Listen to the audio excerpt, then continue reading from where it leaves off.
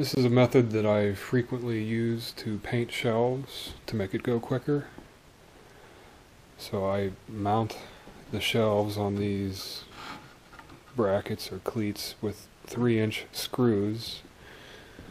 And so this gives me the ability to paint both of the sides of the shelves at the same time. So I, I don't have to do one coat, let it dry, flip it over, I can do all the front edges and the top and bottom in one coat. And that really makes it go quicker.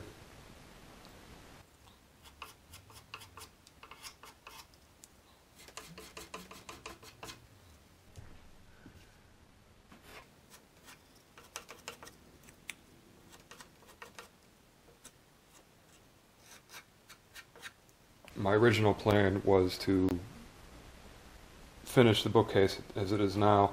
And then when I install it, I would make a cutout here for the profile of the baseboard. Because typically you don't want to cut the baseboard in your house or alter it in any way.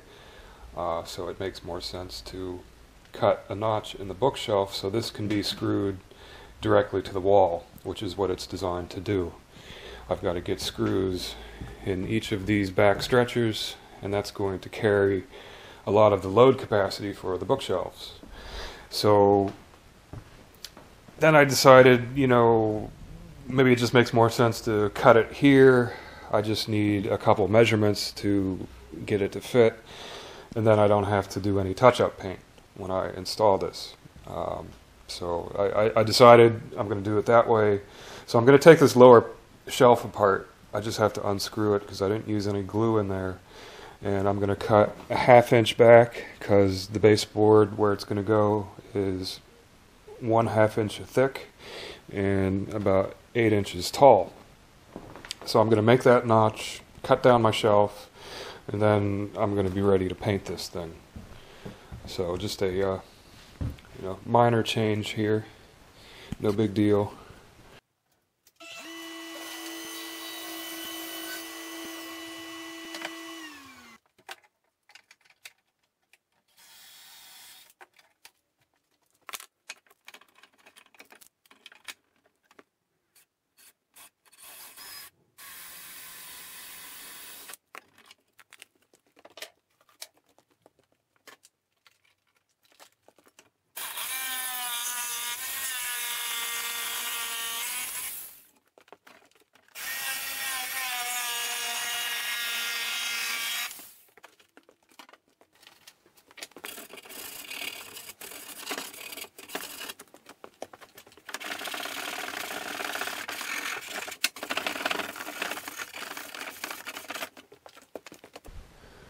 Okay, so I modified the bottom shelf and made the notch for the baseboard.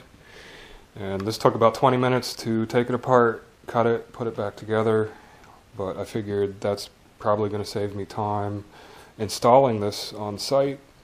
It's less mess that I'll have to clean up in the house, and the paint job will look a little bit better this way.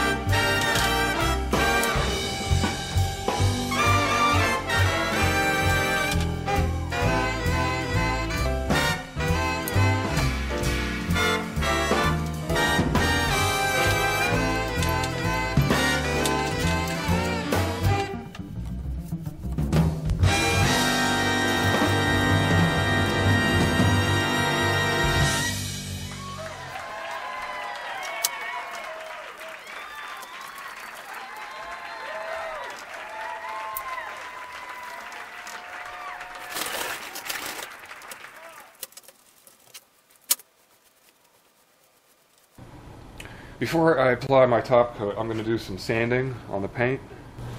So I have here a coarse 80 grit sanding sponge, and this makes sanding easy, um, you know, for doing inside spaces because you can you can grip it better, and you get a big wide surface.